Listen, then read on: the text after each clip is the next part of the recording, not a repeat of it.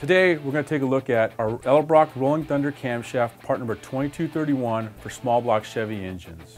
Our Rolling Thunder camshafts are hydraulic roller style camshaft and feature aggressive profiles as well as better characteristics for high performance street driving. All of Edelbrock's Rolling Thunder camshafts are hydraulic style camshafts and are ideal for use in the 1500 to 6500 RPM range. They feature aggressive profiles along with great street drivability but also maintain great vacuum for use with power accessories.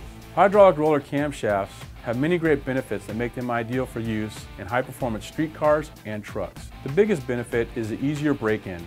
Another great benefit of hydraulic roller camshafts is they have increased performance. On our testing internally here at Edelbrock, we've seen a flat tappet camshaft and a hydraulic roller camshaft tested back to back, and we actually see an increase in power anywhere from 20 to 30 horsepower going from the flat tappet design to a hydraulic design. Let's get down to the numbers because that's what everybody really wants to know. This camshaft features a 242 degree intake and a 240 degree exhaust duration at 50. The lobe separation measures in at 112 degrees and also features a 107 degree intake centerline delivering 11 inches of vacuum. This camshaft is supplied with Torco engine assembly lube and also compatible with factory roller lifters. This camshaft is designed to be used with other Edelbrock high-performance components like cylinder heads and intake manifolds. This same camshaft is used in our Signature Series 383 crate engine.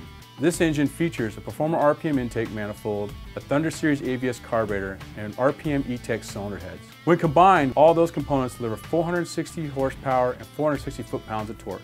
Edelbrock Rolling Thunder camshafts deliver improved performance, great idle along with a great sound to learn more about our complete line of high-performance camshafts, visit edelbrock.com.